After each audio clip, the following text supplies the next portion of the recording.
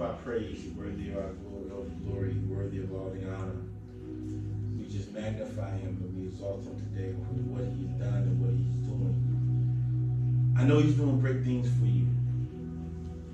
I know he's doing great things for you because he's doing great things for me. And I know that God doesn't have a respected person, meaning that he loves us all the same. And if it, based on his love for me the love he has for you, I know he's doing great things for you. So we just want to thank God for his wonderfulness, his beauty, his love, his amazing grace, and his amazing mercy that is new every morning. Every morning. Glory be to God. Hallelujah. We'll go right into our sermon today.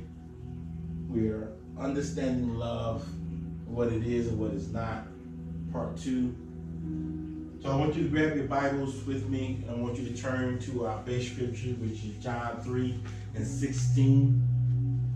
That's John 3 and 16. And after we read it, we'll pray, and then we'll go right into the Word of God together. Amen.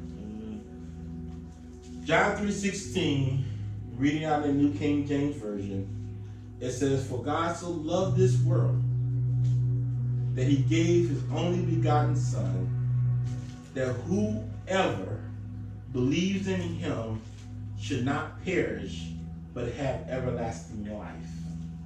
Father God, we thank you. We magnify you we exalt you for all that you've done this far in the service. We thank you, God, that you have showed up and showed out so far. Lord, we thank you for your anointing, your power that penetrating and moving through this room. We thank you, oh God, for being God in our lives. Lord, we ask, oh God, in the name of Jesus, that you be with this part of the service just as you was with the parts prior. Bless each and every person, oh God, that was that will hear this word. Move through your spirit, move through your move through the anointing that you place inside of me. Father, I pray, dear God, as I decrease, you increase. I pray, dear God, that you will have your way.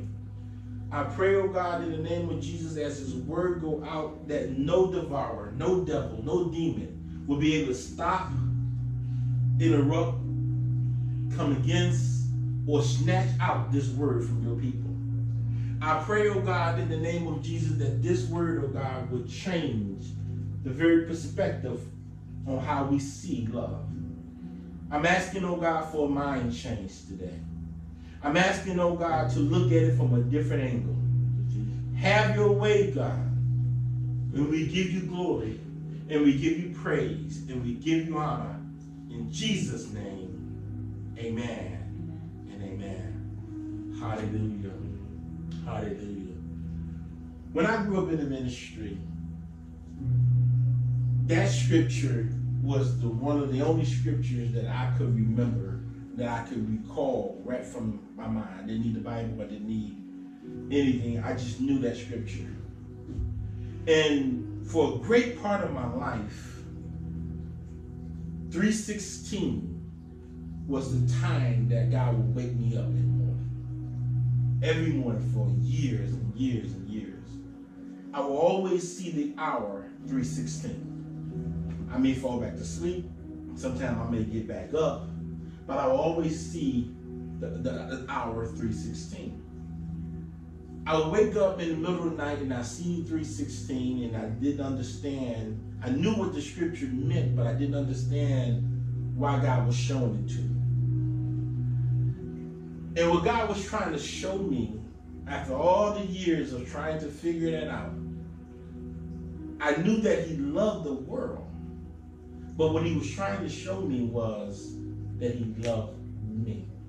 See, sometimes we hear that God loves the world and we put it away from ourselves. We'll say that God loves everybody else, but we don't realize that we was included in that conversation. I didn't know that God was including me in that conversation. Didn't matter how many times it was said to me, or how many times I heard it, or even when I saw it. I didn't understand that God loved me. So I took the word world out of it and I made it personal. And I began to say that God so loved me that he given his only begotten son. So I was a little selfish at that moment because I had to understand that it's not just about everybody else. Because sometimes in our life we can look at things and think that everybody else is blessed or everybody else is loved or everybody else got this or everybody else got that. But it's not about me. But I come this morning to let you know that God so loved you that he given his only begotten son for you to not perish. So that you can have everlasting life. What a wonderful feeling. It warmed my heart to understand that I was included in such a wonderful thing. That he did not discriminate. That he didn't look at me and knew that all of the sins that I was going to commit, all of the mess that I was going to get myself in, over the years, he still made the decision to send his son for me.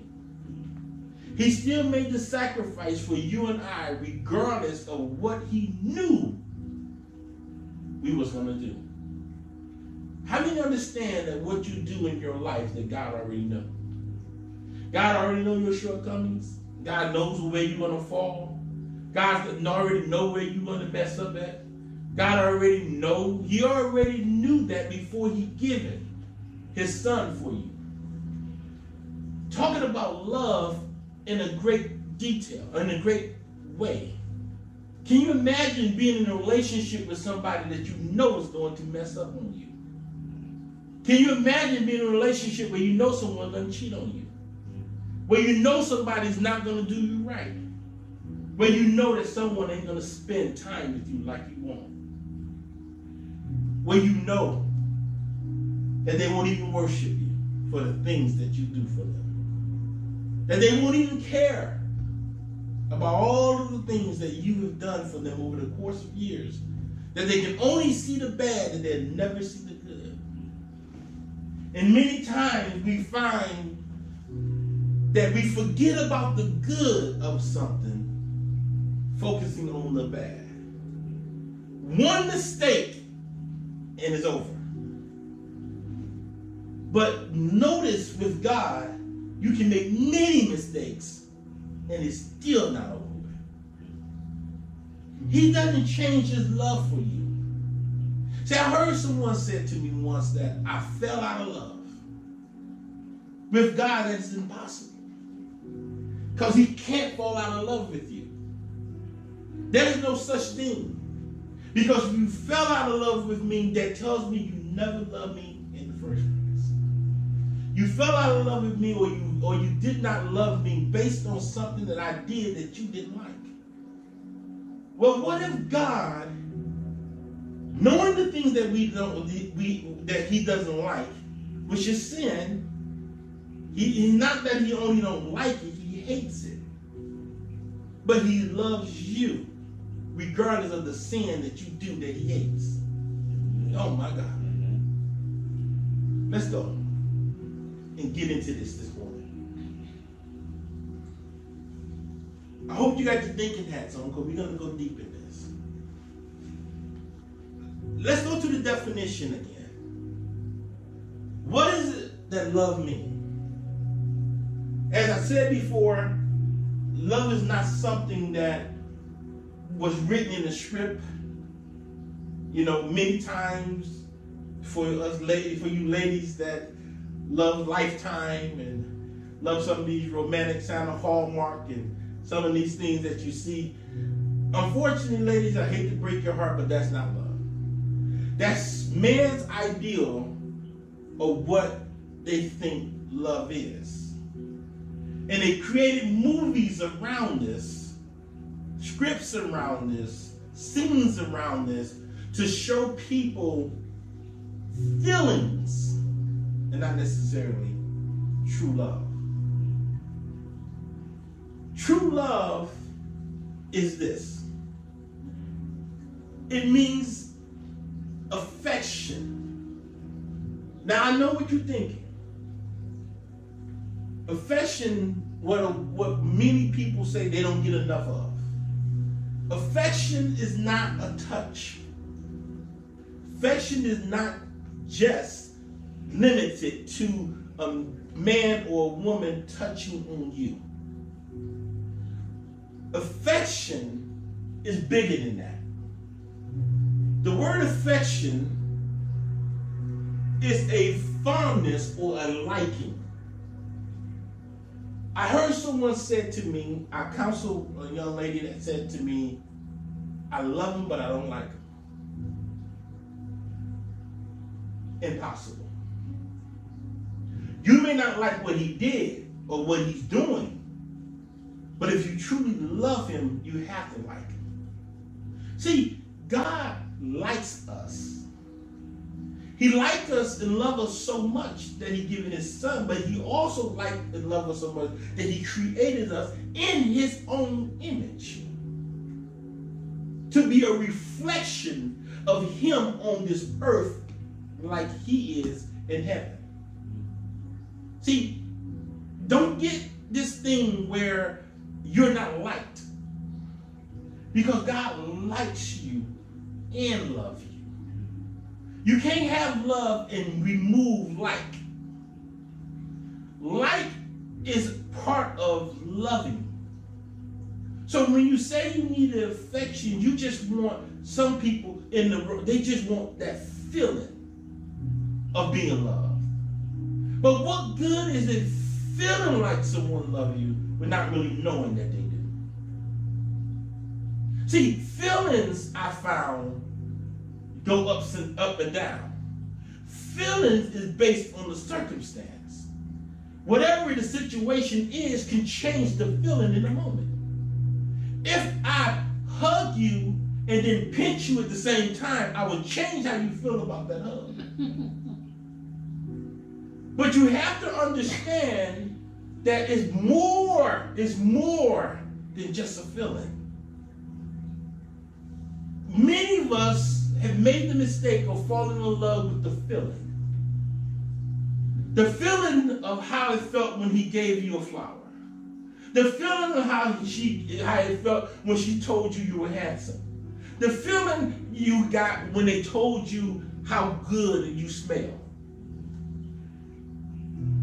If they did not, if they tell you the opposite of that, how would the feeling be then? See, love cannot be based on a feeling alone. It's got to be based on God alone. Follow me. Another meaning for love is gracious. You got to understand that God loves you, that He applies grace to us. His grace, meaning simply that God is is is, is not is how can I put it? Is, is, is the way of God saying to us that I'm, I'm going to not penalize you for every little thing that you do. I'm not going to get mad at you because you make a mistake. I'm not going to throw you away because you didn't do what I wanted you to do. See, love is grace. He loves you, so it's hard for him to constantly punish you or to constantly come against you. God doesn't do that because of his grace for us. His mercy sticks out and, it, and it's new every single day. He, uh, he calls it to be new every single day because guess what? He knows that this day you're going to need it again. And none of us could be here without his grace, without his mercy.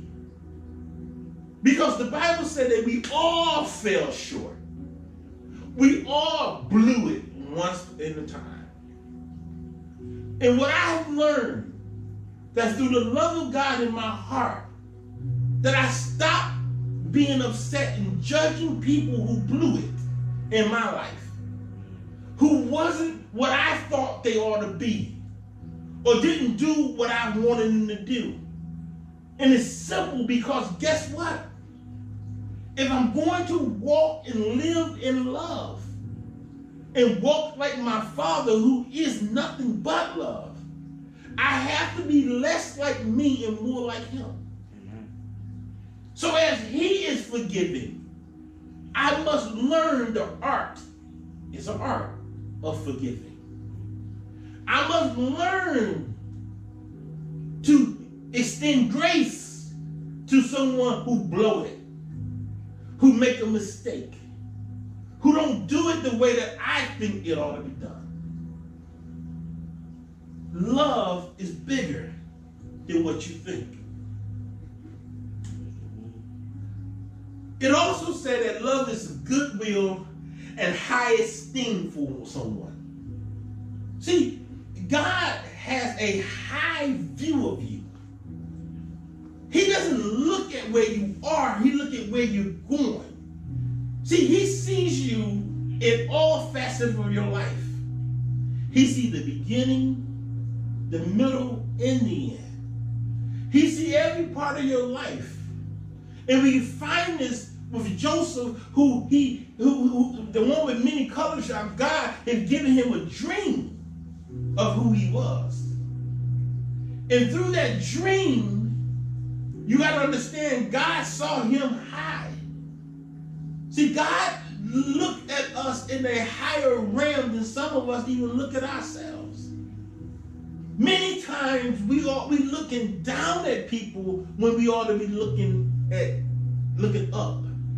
Helping people come go up to their highest potential in life. See, God desire to pull you to your highest state, your winning state, to the greatest you possible.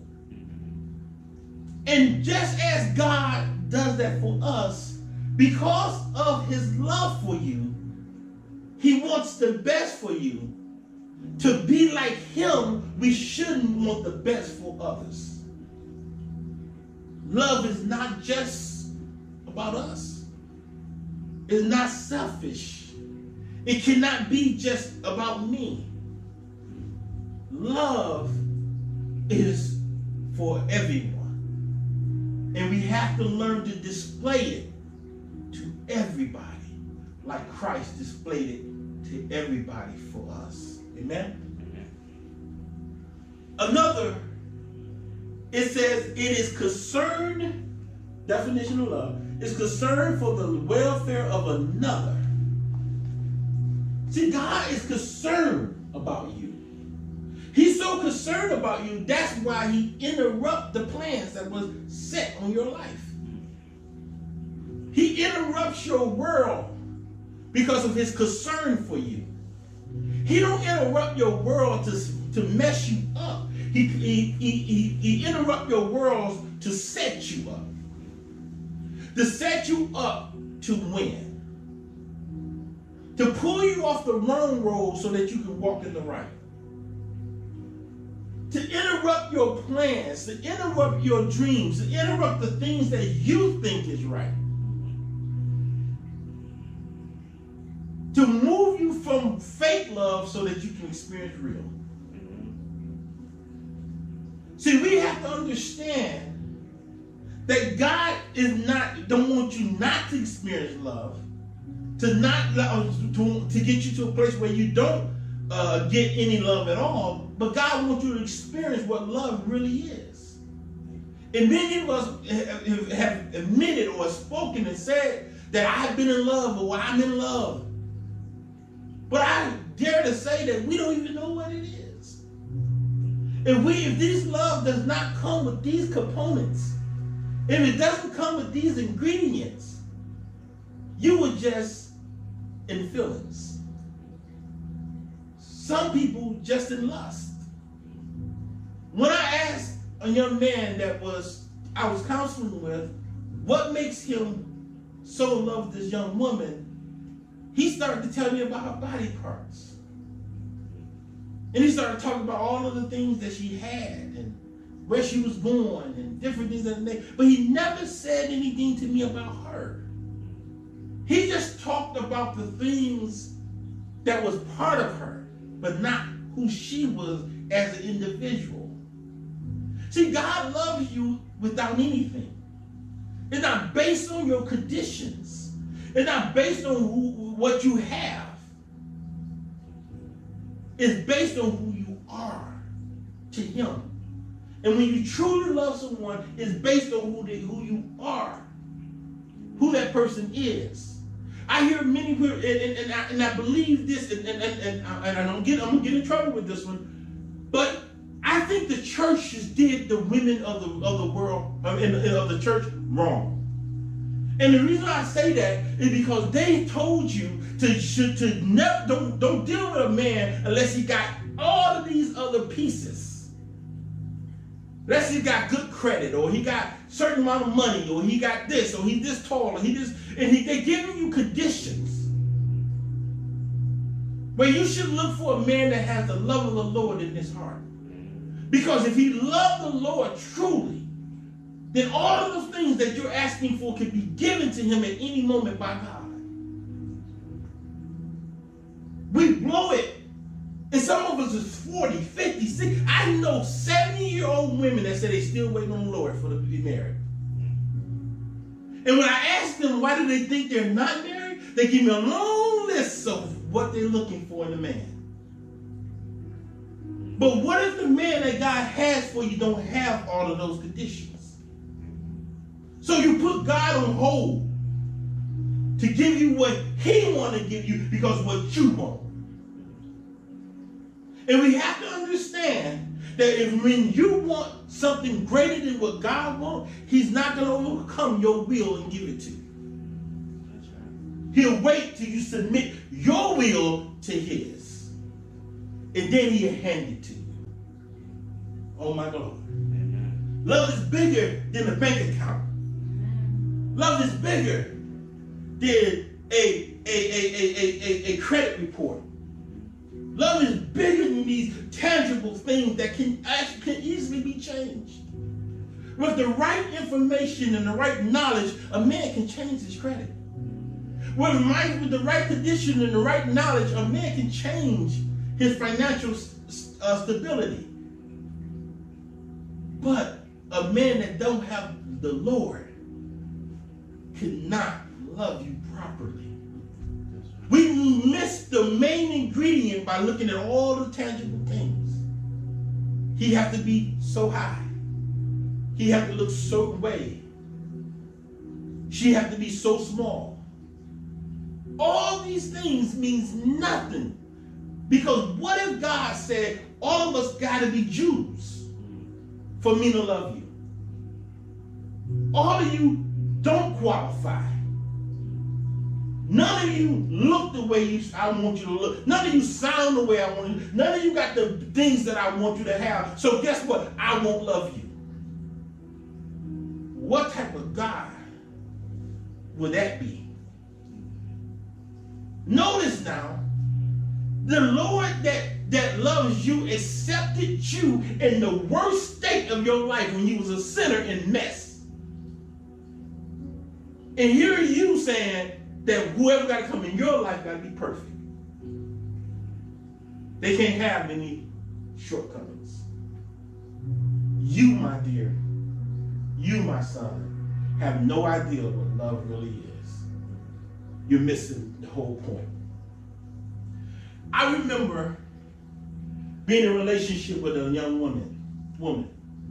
And I remember telling this woman that if she loves me, she would do certain things.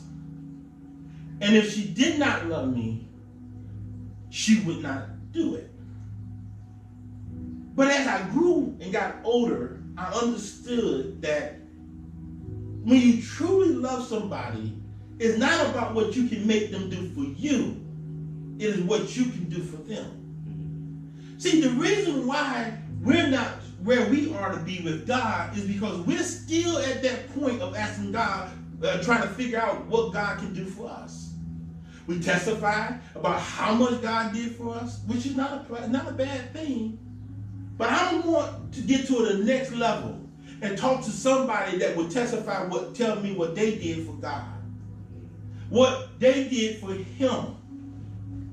What sacrifices you have made for him. See, we gotta grow up. We can't be on milk forever. We gotta eat some meat. We got to get to a point where we realize that guess what? It's more than just what I want. It's about what God wants as well. When you love somebody, it's more than that. See, realize that it's not about me getting pleasure as much of giving pleasure. See, to truly love is to give. And if I truly love you and I'm giving you my all, and you on the other end truly love me and you're giving me your all, no, neither one of us is going to lack. Only time one lacks if one gets selfish and stop giving and only receive. Have we became selfish for God to God? Have we became to the point where we only want to receive from God? But what are you willing to do for the God that you say that you serve? Would you stop doing certain things? When you stop doing things that upset him? Will you stop doing things that will frustrate him? Will you stop doing things that will hurt his heart? Do you want to know how to hurt God? It's simple. By simply being disconnected from him. Because his desire is for you to always be connected with him. His desire is for you to live eternity with you. Here's a man that want to live with you now into eternity. You ever had somebody tell you they love you forever? Well, God meant it. He loves you forever. For eternity forever and ever and ever. There is no ending of his love for you. This to hurt him is to leave him. Have you ever been left? How that made you feel when that individual left you? Not a good feeling. So it also bothers our God when we leave him where he wants to stay connected to you forever. Let me, let me tell you the worst way for someone to leave someone. The worst way is that if you found out that they left you for somebody else, that really hurt. Because it's starts to make you think that the one that they left you for is better than they, than you. Doesn't it not? But look at this situation. We leave God for things that we think is better. We disconnect from our God from things that we think is greater than our God. I hate to be the one to say this to you. Well, I don't hate, it's figure of speech. But there is no better man. There is no better God. That is top notch, the best one, period. You get no better. You can't get no better. You ever been with somebody that told you you'll never get anybody better than me? Listen to me. You'll never get anybody better than God. There's nothing you can do that is gonna that's gonna make you feel like God can make you feel. There is no one that can hold you like God can hold you. Some of them want to compare people to God. It ain't, it's not even, it's no match. No match. My prayer, your prayer should be God, love me through this individual. So I can experience all of you. And to find someone with the love of God in their heart that can love you the way God desired you to be loved. Oh, come on, somebody. Let's go a little deeper. To find 1 John 4 and 12. 1 John 4 and 12. Not John, but 1 John 4 and 12. Glory be to God. 1 John 4 and 12 says this. No one has seen God at any time. If we love one another, God abides in us, and his love has been perfected in us. See, we got to get to a place where the love of God is perfected in us. To be perfected in us, we have to think like he thinks. So there shouldn't be anybody that you can bring to the top of your head that you don't like or that you don't love. Because there's nobody that the Lord don't like or don't love. So we have to be perfected in this. To be perfect in love means to not hold anybody hostage for what they did or how they act. I heard, a, I saw a little meme that says that you love the person. Wait a minute, wait a minute. It says forgive a person, but don't let them back in your circle. See, you have to understand. I'm not telling you to be unwise, but I am telling you how love look. What if God forgave us, but don't let you back into the kingdom, or won't let you back into His circle? Or keep you apart, keep you distance away from me. Say, I'm to love you from afar. I'm to feed you with a lone spoon. We got to go past that mentality and realize and trust the fact that even if I let you in my circle, I serve a God that will protect you from hurting me again. We have to go past the mindset and stop limiting our God to little things and understanding what love truly, truly, really is.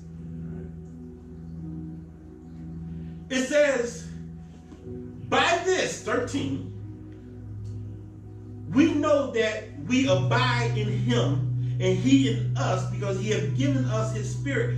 We know, we know, we're confident in the fact by the love of God being perfected in his spirit in us that we are his. You have to check. Are you really God? Because if you're hating on someone, you want to check that attitude. You want to check that motive. Why are you hating on them? See, there's people that I didn't like because somebody else didn't like them. And I liked the person that didn't like that person. Silly. What if God had his clique? Where he said, I only care about this group.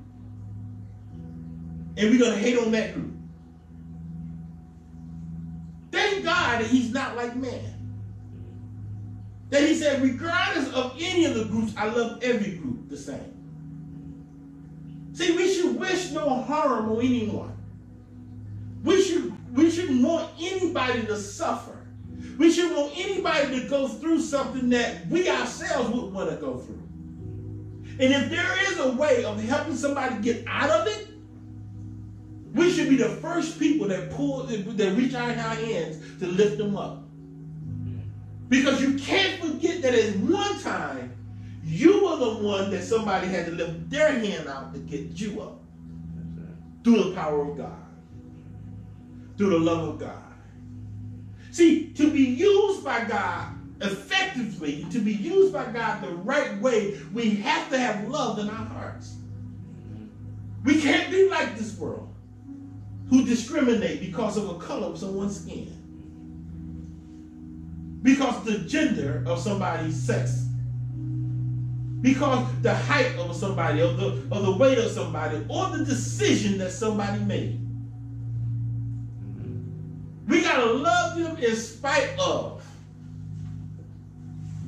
And when you, how you, when are we going to understand that they don't serve our God because through our reputation of God that God is mean and nasty. Their mindset is that God is hateful because we're hateful. They think our God is, is judgmental because we're judgmental. They think our God don't want them because we don't want They don't want to come in the presence of God because we won't let them in the church. We ourselves are stopping people from serving our God because we refuse to show love. Just because they don't smell like we smell, or, or look like we look, or dress like we dress. That's why I don't like. That's why I wouldn't even put on a suit. Because I want people to understand that it ain't got nothing to do with a suit. It got nothing to do with how you look. Come as you are. You can't keep people out of the presence of God because they're not dressed the way you think they ought to dress. What if God had the same attitude towards you?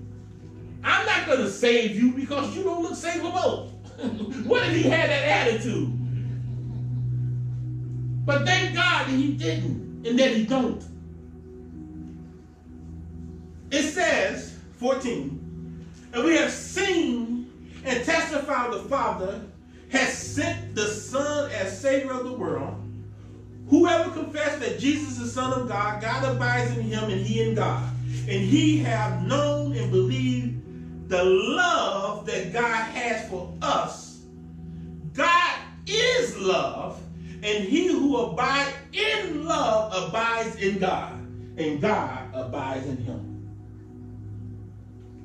If you're not feeling or experiencing the love of God in your in your spirit is because you might be absence of love. If the love is absence, God is not going to walk into a hateful situation. But you have to understand if you want God inside of you, you're going to have to become loving. You got to put down the judgments. You got to put down the, the finger pointing. You got to put down the, the way that you see things, things that you don't like. I think it's funny, ha ha funny, that people forget where they came from. And they quickly to judge others that coming from the same place that they came from. It's funny because guess what? You was just like that before you change. Now, God didn't send you back around them to judge, for you to judge them. He sent you back around them to show them that they can get out of the very thing that you was in. You're not supposed to go there and look higher. You're supposed to go there and, and feel that you're superior. You're supposed to go there with this with a servant heart to help them come to the other side, just like you did. This is what love is. Love is not being judged, being, uh, being judgmental, sorry. 17. Love has been perfect among us in this, that we may have boldness in the day of judgment, because as he is, so are we in this world. As he is, we are in this world. We've got to be more and more like Christ in this world. It's not enough light shining. It's not enough salt being salt being shown. It's not enough being displayed. I hate to be the one to break the bad news again, figure speech. Break the bad news to you but do you not understand that Christians are almost a swear word now to some people? We have gotten to a place where people don't even trust a Christian no more. Where some of the young folks just threw Christians away. It got so bad that it was that I had a conversation with the Lord and said, Lord, I don't know I want to even go on that title anymore. Because that it's, it, it, it, it's dogged out. People have beat that name down in the dirt because of us, because of our display of God's love. These men said, just as he was, I mean, he was, we are. We have to learn to be more like him. How many people, how many, where did we read in the Bible that God turned people away? Where did we read in the Bible that God hated anyone? Where did we read in the Bible where God said, I can't stand none of them? Or they're not allowed to be in my circle? Where did we get this from? Where did this division came from?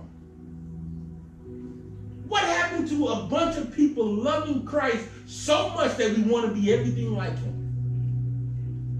See, to me, a son will want to be like his father, especially if he's a good father. A daughter will want to be like her father because, especially if he's a good father. Now, I get it. We, we, we don't have good fathers sometimes in this world.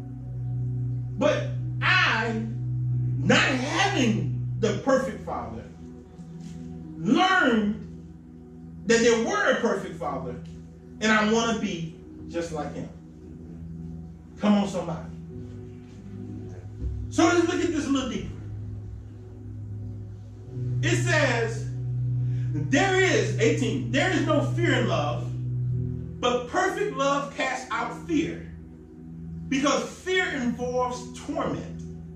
But he who fears has not, has not, has not, has not been made perfect in love. If you're operating in fear, it's because you don't understand what love is really is. If you're scared, it's because you don't know what love really is. If you're nervous and you're worried, you don't know what love really is. Because if I truly love you, that means I got you. See, God loves us, and then you know that I got you. I know, I know it doesn't look like it sometimes. Because there's many times in my life that I went through something I didn't think God had me. But then when I look back at it, he had me. He was right there all the time. In some of my darkest hours, some of my worst moments, he was always there. The reason why you don't think he's there is because you have not yet recognized the love of God. If you recognize the love of God, you will see that God has always been on your side. He always stood next to you. He always loved on you.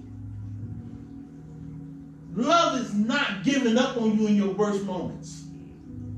Love is not pulling away when things are going bad in your life.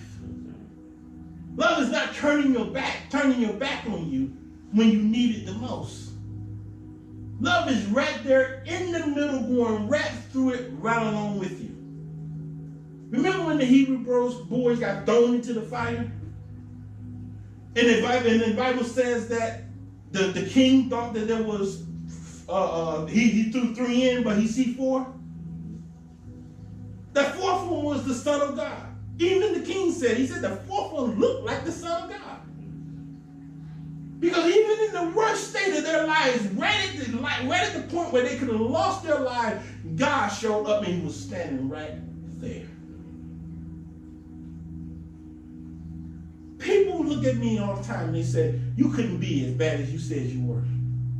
They used to, they look at me and say, no way, no way, no way.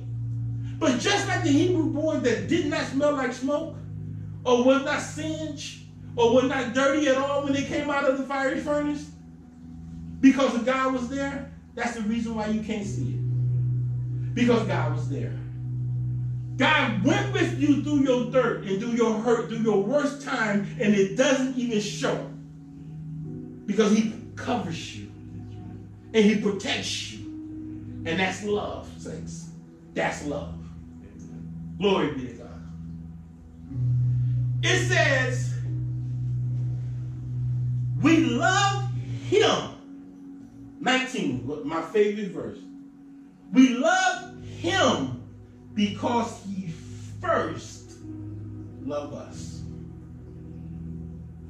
You know, you've been in relationships where you try to figure out which one of you going to say I love you first. well, God already told you.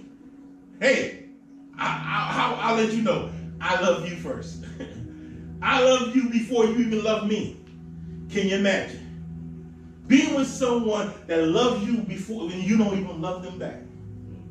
Been there, been in that relationship, not good, not a comfortable one. But God said, I'm going to take the chance on you.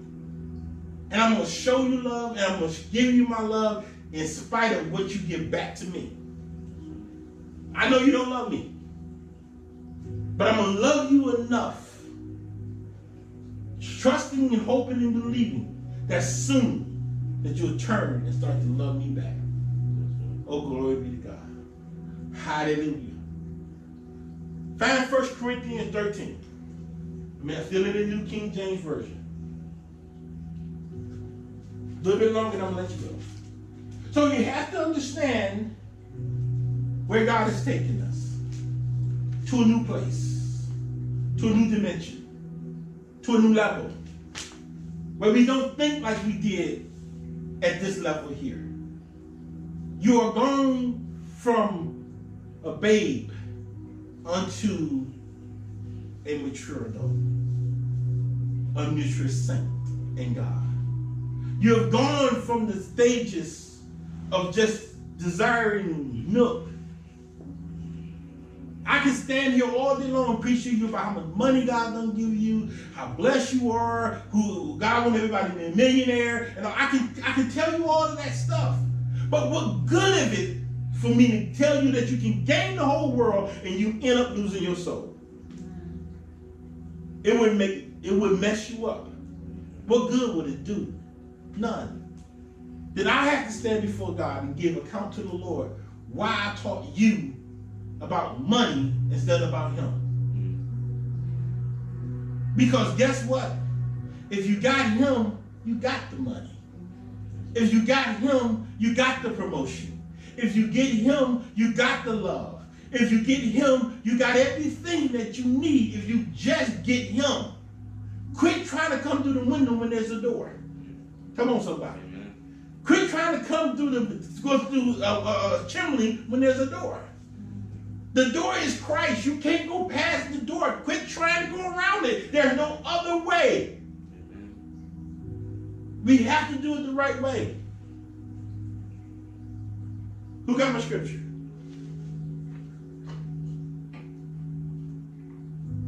Thirteen one. First Corinthians 13 1.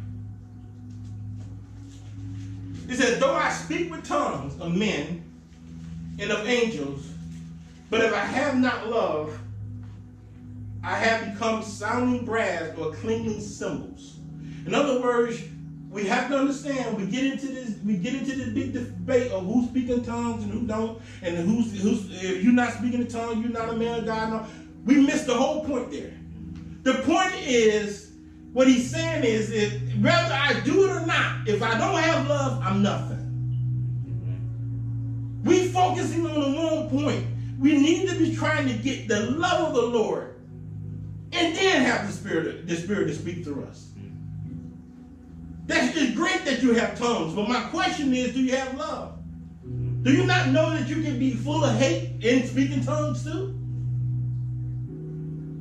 The purpose is is to have love, and then you got everything. Let's look at this. And though I have a gift of prophecy, I can prophesy to, to hundreds. My last conference that I did couple years back, I prophesied to probably 110 people per night. And I did it for like two or three nights. I can prophesy forever. But if I don't have love for that person that I'm prophesying to, I'm wasting my time. If I don't realize that God loved that person that I'm talking to, this is why sometimes you have to listen to some prophets and they so harsh and they so they so nasty. And even if they prophesy to you something about money, they, they is it's horrible. Whatever they say, love, anything if they coming out of their mouth is just. Because even though they prophesy, they don't have love. See, when you prophesy, you have love. Because I'm not just trying to tell you what God is saying, I'm telling you it from his heart. Even if I'm correcting you, I'm correcting you from his heart. So it shouldn't come off in a way where I'm beating you up or making you feel bad or embarrassing you. Learn how to prophesy if you're going to prophesy. Do it in love. He said, even if I understand all mysteries and knowledge and thoughts, even if I have faith so that I can move mountains, but not love, I'm nothing. And though I bestow all my goods, feed the poor, and though I give my body to be burned, but do not have love, it profits me nothing. You got to understand, we're missing the key ingredient. It's love. I got to a point, or I'm getting to a point. I'm asking God to help me. Why don't you want to hear garbage about another person? If we can't talk about praying for this person and how we can help this person, don't call me. Don't call me. I'll put it on camera. Don't call me. If you ain't calling me, telling me, hey, I need you to touch you and agree with me because this individual is going through and we need to help them change, don't even call. Don't send me a text. Because we got to get to a point in life where we showing love in everything. Nobody deserves hate. Just like God doesn't hate anyone. We have to learn to speak for people and not against people. Maybe it, it would take us just prophesying something wonderful in the atmosphere that can change the whole atmosphere around that individual. But it got to be done in love, not in hate. This is not me against the world or you against everybody. It's us trying to help the world. God never turned his back on the world. He came to save the world. What are we doing? Isn't that what we're supposed to do? Is save the world? Is to help them come back to God, not to your church, to God. We're so interested in people coming to our church that we forgot about them coming to God. Why? What are we looking for? What's the motive behind it? Could it have something to do with tithes? Yeah, I said it. Let's go.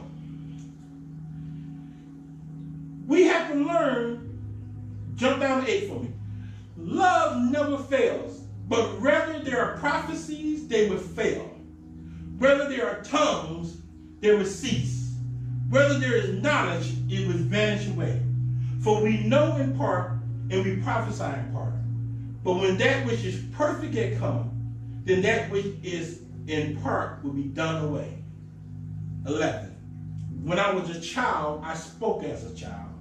I understood as a child. And I thought as a child. You're not children anymore. We can't think like children anymore. We can't speak like children anymore. We can't act like children anymore. We have to learn to be people of God. We have to learn to be saints and mature in God where we stop going after the wrong stuff? Are we, are we, are we helping someone truly change their life?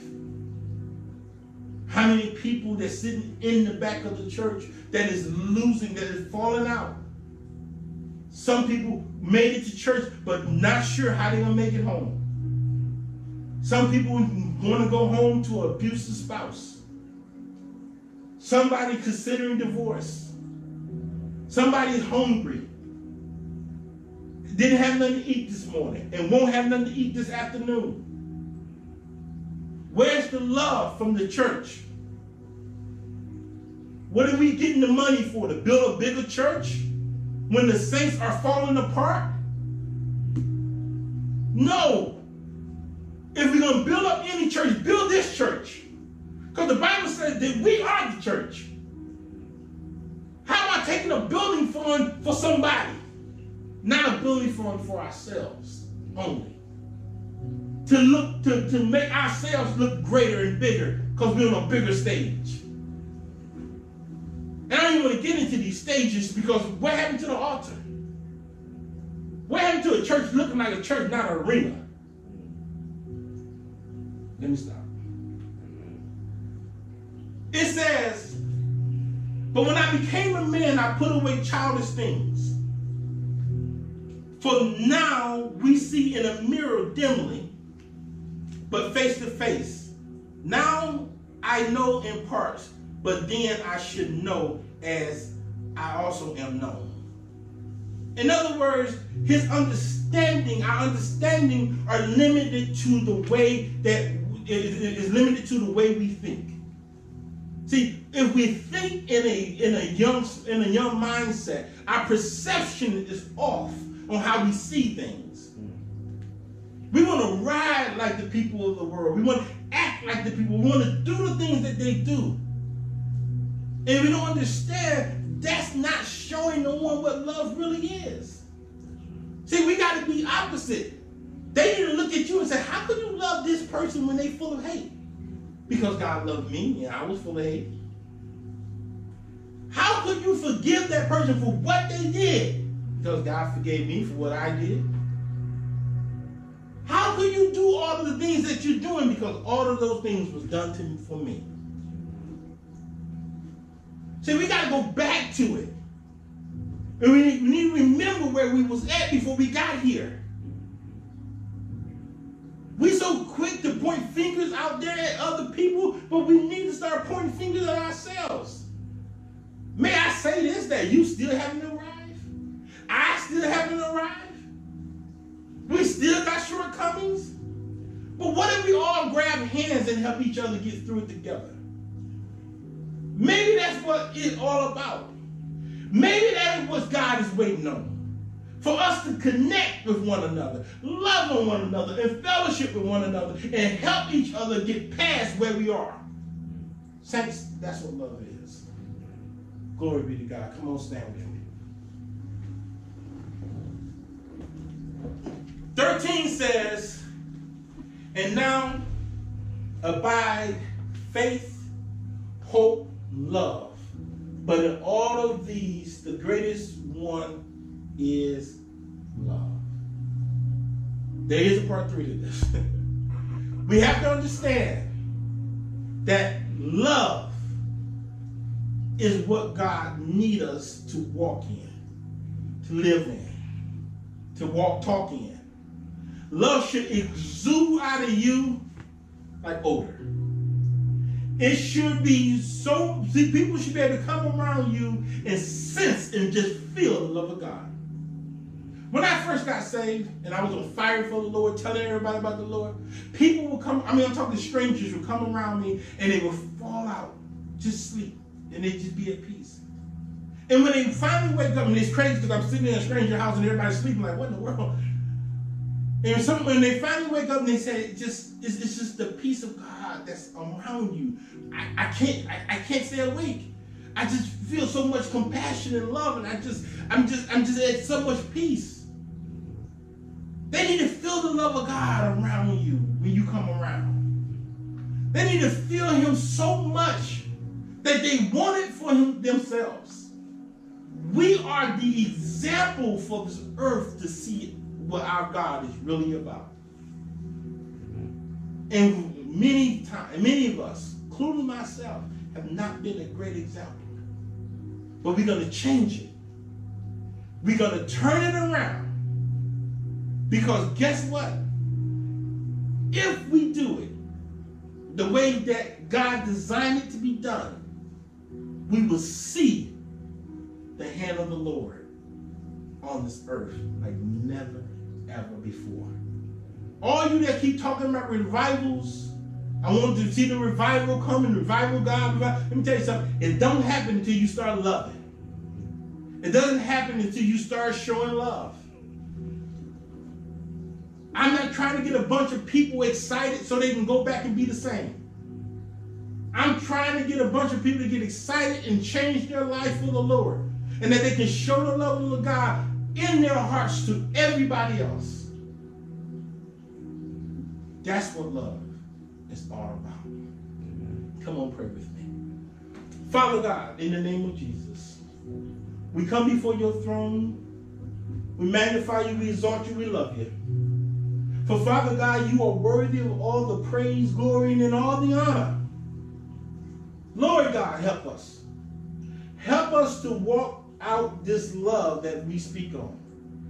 Lord, we need to love people the way that you love them. We need to show people the love of you in everything that we're in and everything that we do. Lord, we repent for not showing love.